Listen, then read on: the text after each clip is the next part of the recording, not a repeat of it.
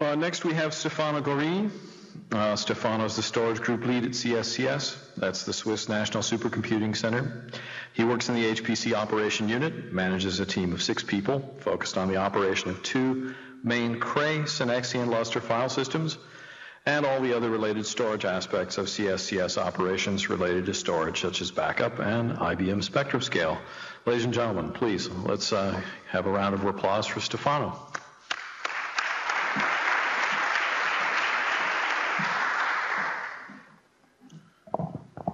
Hi, everyone. So he already introduced me. And if you want to know more about CSCS, you will have an, overview now. So it will be a little bit different talk. I'm, we are really users and not developers, so you will see what a user see what a user asks to a developer or vendors when he wants to use Lustre. And I will give you an idea of the main issue we have right now and what we want to do in the next future using Lustre. Then if you have questions on other aspects of our storage, then ask, but I will not present in this one. So this is the main uh, standard picture of the service we provide at CSCS. So we are a national supercomputing center, so we provide HPC mainly to our users. As you see, we have a huge Cray. Starting this here, we have also two Lustre file systems attached to it, and then I will tell you why.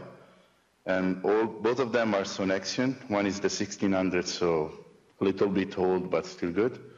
And the, the last one we added this here is the 3000, and it's still the same family.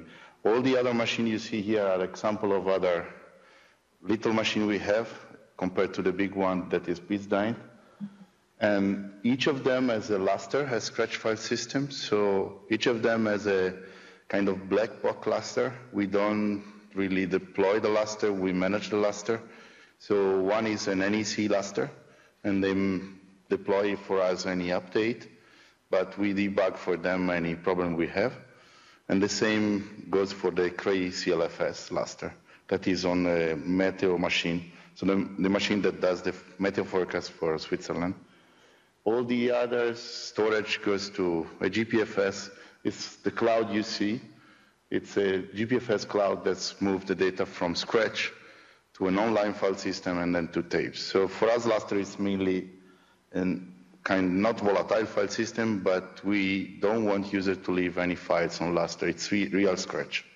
And then I will show you how we are trying to force our users to do that. So this is just going through quickly the Lustre file system we have. So until last year, we had Piz Daint, our Cray machine with just Sonexion 1600. And this was a problem for the high availability of the machine because with the Cray Sonexion that is at the end the cluster Seagate, just rebranded, we had problem updating it and upgrading it. So every time we were touching the machine, we were losing like two, three days doing the upgrade.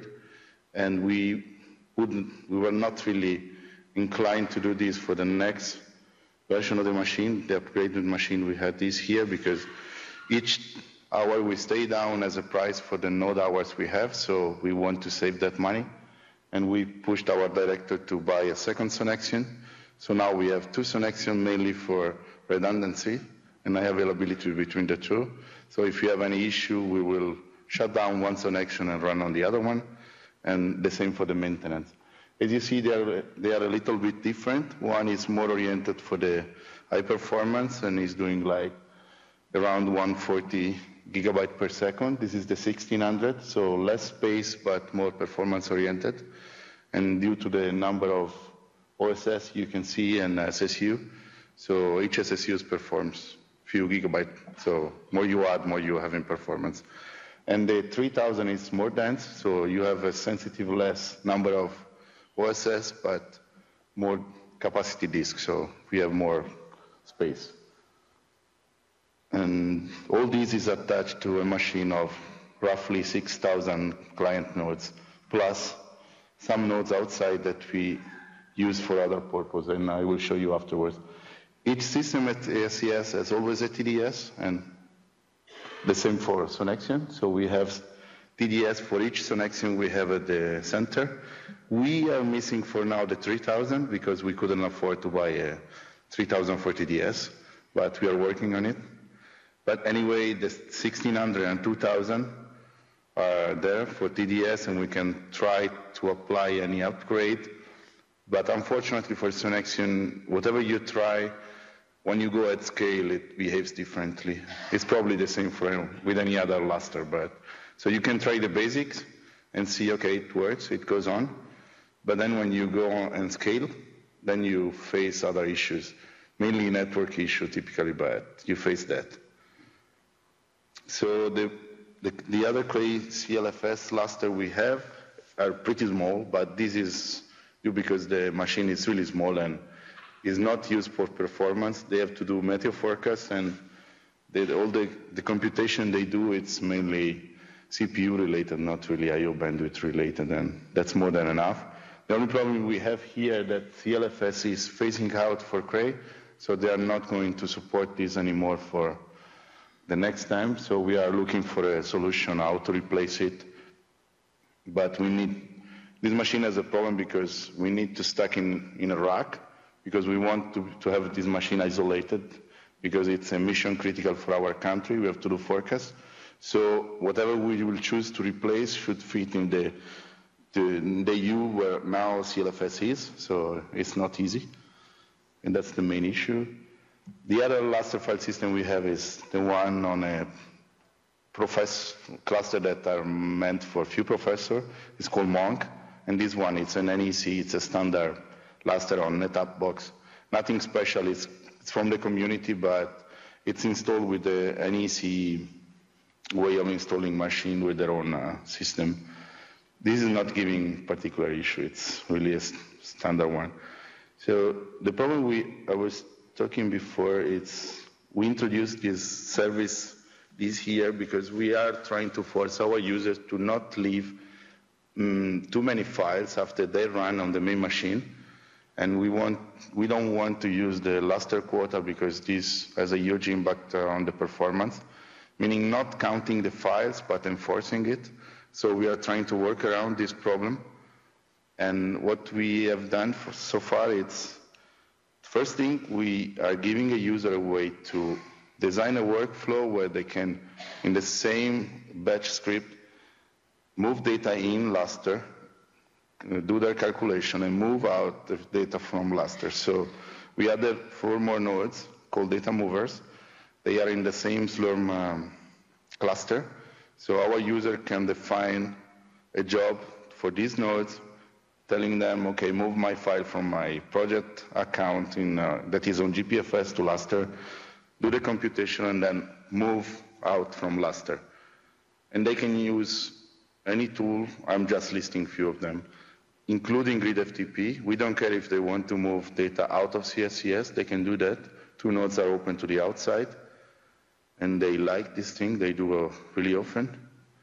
And the other thing we did, we every time they submit a job, we check on a DB where we basically put all the quota uh, data that Lustre provides to us in a DB. We check the DB. If a user has more than 100,000 files, they cannot run. So they are forced to clean their own space. So it's a kind of trick to not enforce the quota, but be sure that they are not overusing it. I don't know, I'm curious if someone else has another solution to that. So then just raise your hand and we can discuss, or offline, or I think this is a problem that many, many of us has, but the other issue we have is cleaning policy. It's based on Robinhood, obviously. Right now, it's the only policy engine that we see for Lustre. So thanks to CEA, we have this tool, and it works quite fine, but with the size of the system and the file system and the number of files, we have a problem with the last version we have on Sonexion, so the change log is too slow in respect of the rate of the change of the file system, so it cannot keep the peace on updating the Robinhood database, and we were falling behind it, so we decided to stop the real-time check, and we simply do a 24-hour scan that is more than enough for now, and we run the policy based on that scan. And that's it. Because every time we were trying the real time, or we were crashing the Robinhood server, or simply was too late when the cleaning policy was running, so was not acceptable. And we are looking forward to see if the next version of Lustre and Robinhood altogether can work better than this, because change log is not the way to go for sure. Here, also here, if someone has experience to share, I'm really open. We are looking for a solution. For now, we are doing that, but it's not the final solution, that's clear. Then I wanted to put here an example of the problem we, we saw with Lustre that this is on, um, on the small Lustre we have on the Meteo machine.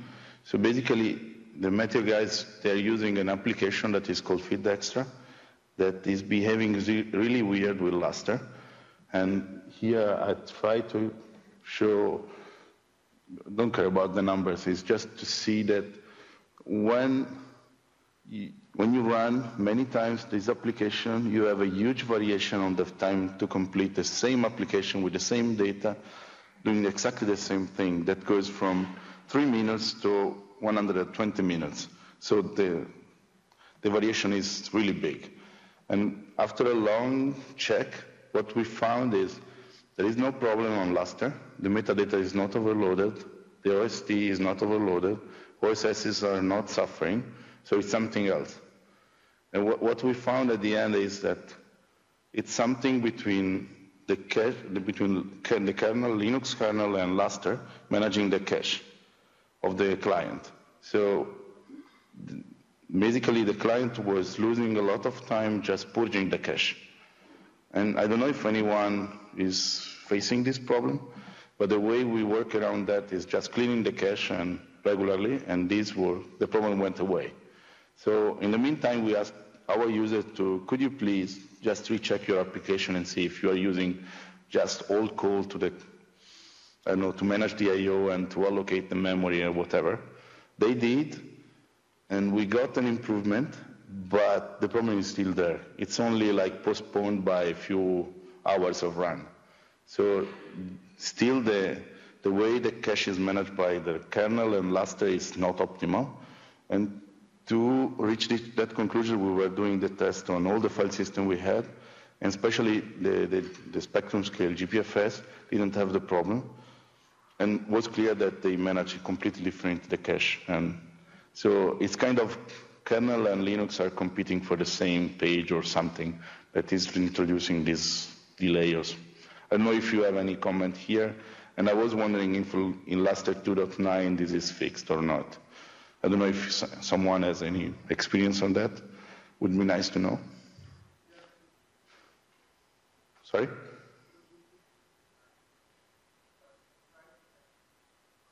Try? Should be fixed in 2.9. Okay. Okay, 210. I have to convince Cray to go to 210, but that's my problem as users. When you don't manage really your version of Lustre, you have to convince the vendor to do it for you and move forward to the next version, and typically it takes a bit. So we will try. Then I wanted to share with you our next challenge, and it's just one slide. I don't know if any one of you has the use case coming on using object storage. I saw this morning Intel pushing those. It's more or less object storage. So what we have people are asking us as users they want to use the HPC facility, meaning POSIX, but then they want to share their files through object on the website.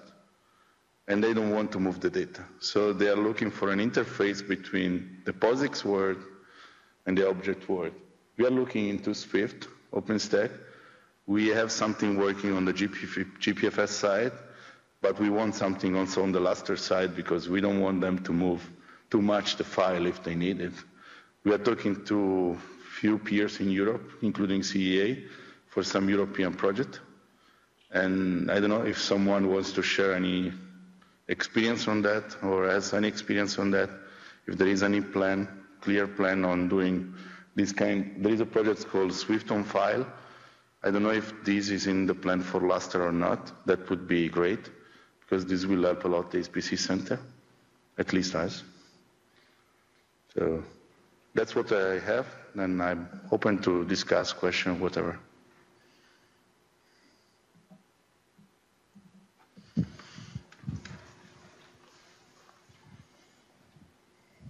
Uh, I'll just say, please talk to me later. I'd like to hear about your use cases for the object storage stuff.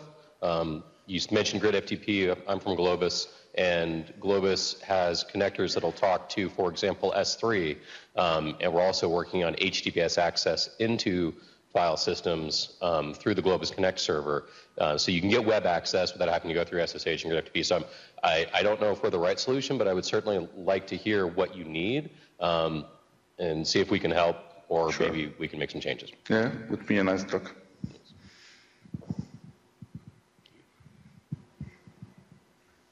Anyone else? Questions or comments?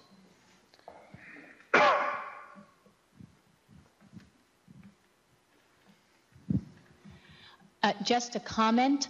Um, I'm recently using a newer version of Robinhood. Uh, it- The version I'm using is the uh, 3.0-0.RC1 with MySQL 5.6, and the performance with the changelog has improved significantly from previous 2. dot whatever Robinhood versions. Um, and the, the thing that we experienced was that it needed to be the MySQL 5.6 and not the 5.5 because 5.5 just didn't mesh well. But anyway, so I don't know what versions you're using, but there have been improvements in the newer versions. Which Lustre version do you have? Because also that makes a difference. Um, the Lustre version that we're testing on is a 2.5.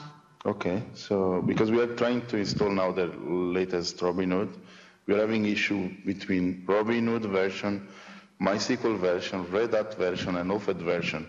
Every time we start, the node makes a suicide, more or less, without leaving any trace of any log or core, anything. So we have to roll back a bit, and we have to understand what's crashing the machine. But it's good to know that at the end it works better. Yeah, we did have issues with a combination of a couple of those versions that would just use so many CPU cycles that the machine would just die, um, effectively becoming non-responsive. So the, the version matching did seem to make a difference for us. So maybe I'll stop by and you tell me which version you have, so I can do the same metrics.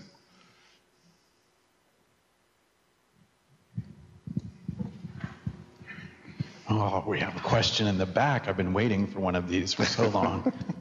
Go, Rob, go.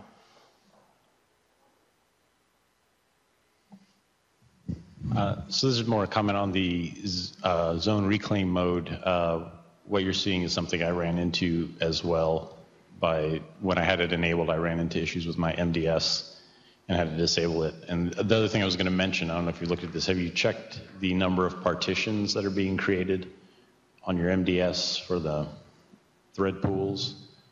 I know the default behavior would create several of them, and we ended up just basically setting it to one uh, to avoid doing that, and that seemed to help us somewhat too. The problem there is still the same. When you use the vendor box, you cannot really check that part. You open a bug and you hope they do that check and fix it. But it's kind of standard configuration they do, and they cannot change, otherwise you are out of support and blah, blah, blah. So I can check. I didn't check. We can try. But I'm pretty sure if we find something, then we open a bug and it will take forever to, to get a change.